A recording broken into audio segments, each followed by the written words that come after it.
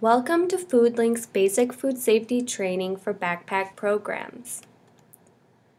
In this presentation, we will cover basic food safety principles so that you can be informed as to how to protect the health and safety of the children you serve. After completing this presentation, you will need to complete the online quiz for backpack programs and obtain a score of 80% or higher to pass. There are practice questions throughout the presentation to help prepare you for the quiz. A brief overview of FoodLink. To fulfill our mission of ending hunger and leveraging the power of food to build a healthier community, FoodLink works with more than 500 partner organizations and houses a variety of programs. You are probably aware that FoodLink distributes dented cans, which we call retail damaged product. What you might not know is that we both receive donated food and buy food, including shelf stable items and fresh produce. The food comes from local farmers, individual and corporate donors, the USDA, community gardens, and a variety of food vendors. This food then goes out to serve our community through mobile pantries, food pantries, soup kitchens, shelters, group homes, daycares, schools, farm stands, and corner stores. Nutrition and the emergency food system. One in five children in FoodLink service area is food insecure. The inability to know where one's next meal is coming from can have a serious impact on one's health and well being. Good nutrition is critical to good health and success at school. As a member of the Backpack program, we encourage you to provide nutritious offerings. My Plate illustrates the government's recommendation for a healthy diet. My Plate is made up of the five food groups vegetables, fruits, grains, protein, and dairy. It's important to eat from all five food groups each day. To meet these guidelines, we recommend offering items such as 100% fruit juice, canned fruits and juice or water, canned veggies with no salt added, cereals low in sugar and made with whole grains, lean proteins such as tuna or chicken, and low fat dairy products such as our shelf stable 1% milk. Let's review. What are the five food groups? Fruits, vegetables, grains, protein, and dairy. Foodborne illness. What is it? Where is it? And how does it spread? According to the CDC, there are 250 different foodborne diseases. Foodborne illness can be caused by chemical hazards such as cleansers and sanitizers, biological hazards such as bacteria, viruses, and parasites, or physical hazards such as glass, bones, and metal shavings. Contamination of food can be odorless, tasteless, and may not affect the appearance of the food. Every person is susceptible to foodborne illness.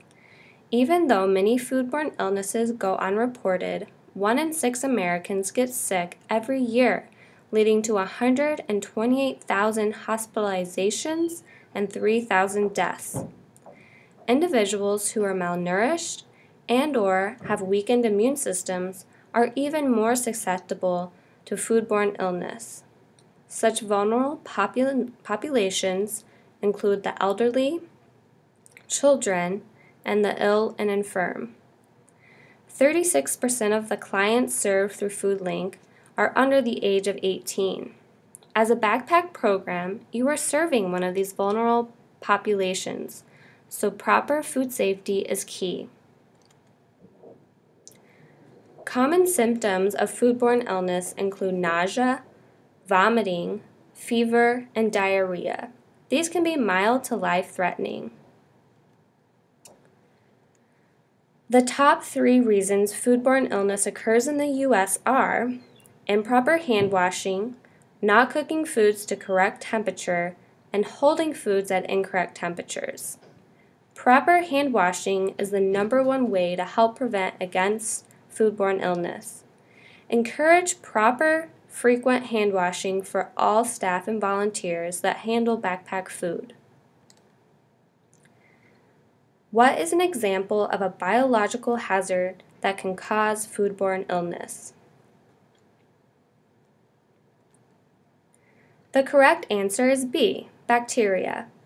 Remember, biological hazards include bacteria, viruses, and parasites.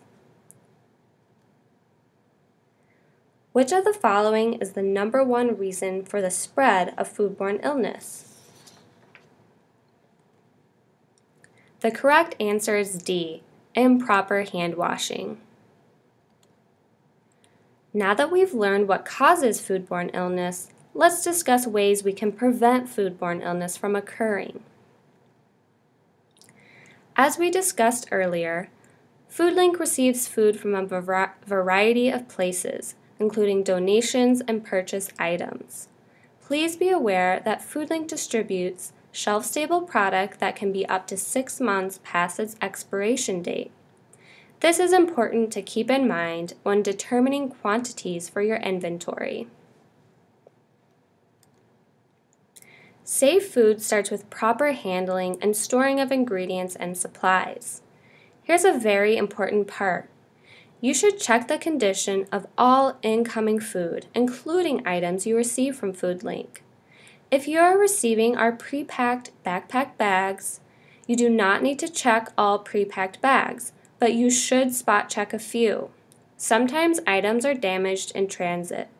Contact FoodLink if you notice issues. Another best practice is to mark and receive a receiving date on all received product. This will allow you to easily recognize the product you need to push out first. We call this practice FIFO, first in, first out. If you are unable to label and date each container, another way to implement stock rotation is to label the shelving with use first signage or temporary signage stating the date it was received. Each program can, can determine which stock rotation method works best for them.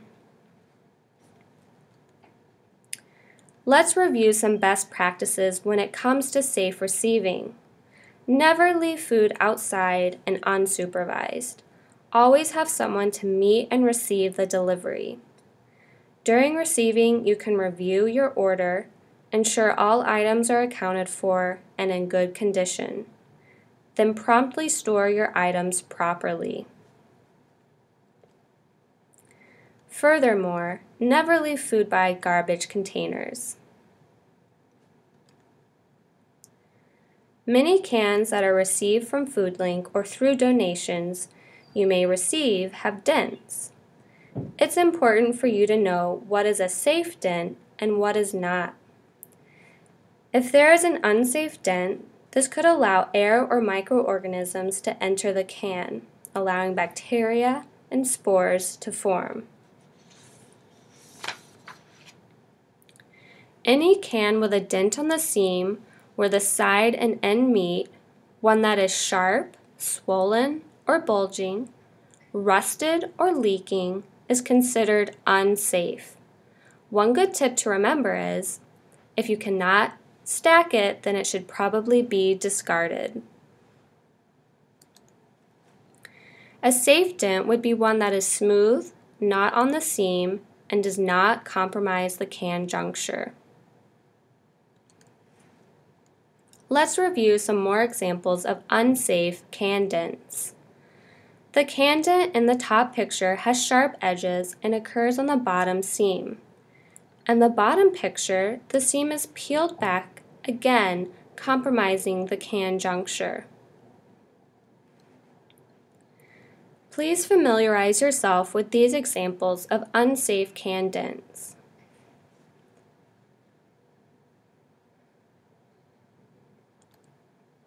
Let's review. Which of the following cans is unsafe? The correct answer is A. because it has a dent along the side seam. Let's discuss safe receiving of glass bottles and jars. First and foremost, never accept home canned or jarred food products. Always discard a bottle or jar where the glass is cracked or chipped, leaking, or discolored. Check the vacuum pop up button for evidence that the cap or seal has been opened. For bagged items such as flour, rice, or sugar, always discard products that have rips, tears, or holes, unknown stains, or missing labels. For box items such as cereal or crackers, please ensure the inner bag is intact. If the outside box is torn, but the inner bag is intact, then the product is safe. If there is no inner lining for box products such as pasta, always dispose of the product if the box has been open or torn. FoodLink tracks all recalled items. If you receive a recalled item, we will inform you to remove it from your inventory and to please inform any clients if the item has already been distributed. Please keep an eye out on the online ordering system for New York State recalls. Have you noticed expired food coming from FoodLink? Have families asked why food is expired? If a product is past its expiration date, it is not necessarily bad. The quality, meaning the flavor, color, and texture, may change, but the safety of the product may be perfectly good. Assuming the food has been stored properly, many food items are safe, well beyond the dates marked. Please use the Food Keeper brochure to determine how long foods are still safe after their expiration dates and help educate clients when questions arise. This resource can be found on FoodLink's website. Once we've properly received the product, we now want to practice proper storage. We recommend using shelving that is easy to clean. In dry storage areas, food must be at least 6 inches off the floor. This allows you to be able to clean under shelving units. Furthermore, food should be 2 to 4 inches away from the wall. This prevents the product from getting wet should there be a leak in the ceiling and helps decrease changes in temperature if located on an outside wall. Always store cleaning supplies and chemicals away from food. Lastly, as discussed earlier, practice FIFO, first in, first out, to help keep product moving so that older product does not sit on the shelf too long. Only whole skin on fruit or vegetables, such as apples, bananas, or oranges, may be repackaged.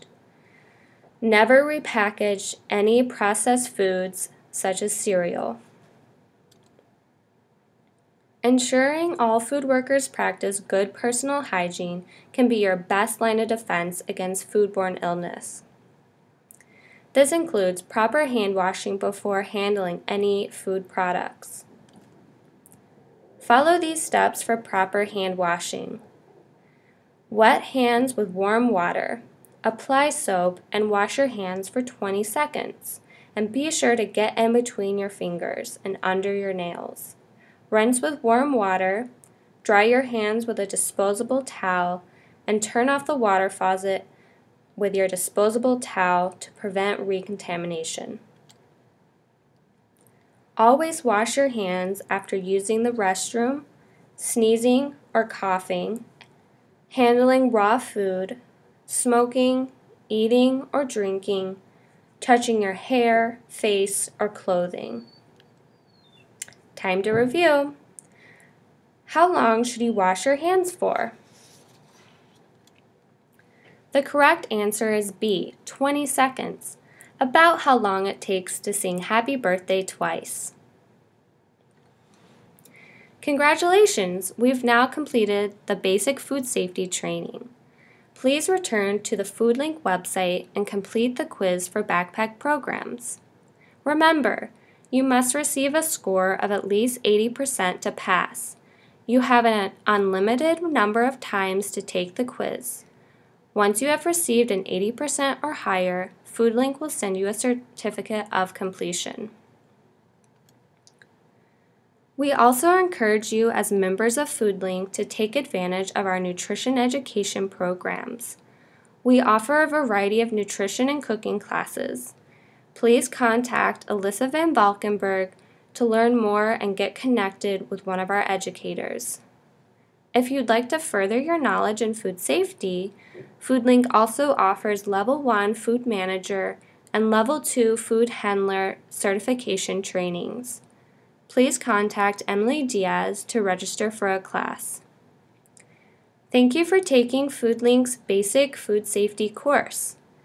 You play a vital role in making sure that the food supply is safe to those you serve. Contact Laura Sugawala for additional information or questions regarding food safety.